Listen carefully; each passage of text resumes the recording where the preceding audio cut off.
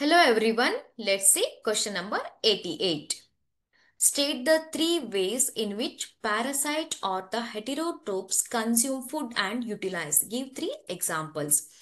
You know that heterotrophs means they absorb the or sorry they uh, get their food from the other organisms, right? So there are three types of the parasites or the heterotrophs are there.